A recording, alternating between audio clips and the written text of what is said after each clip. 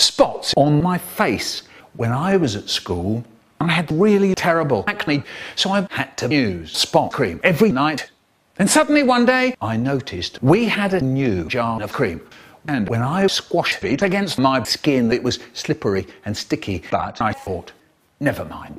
And off I went to bed. Next day, I went to school, and everyone began to laugh at me. And I cried. When I came home, I looked in the mirror and I saw a great big boil just next to my lips. I wonder how that got there. Later that day, my dad came in and he said, Oh, uh, anyone seen my sperm sample anywhere? Dr. George says I might have herpes. So it's rush, rush into the bathroom. But it was too late, and I was sick all over the floor. I never did tell my dad what happened to his cum. Like a cheese, like a cheese. Now, now, now, now, now, I'm feeling so flat, like a cheese, like a cheese, like a cheese. Now, now, now, now, now, now I'm feeling so flat, like a cheese, like a cheese, like a cheese.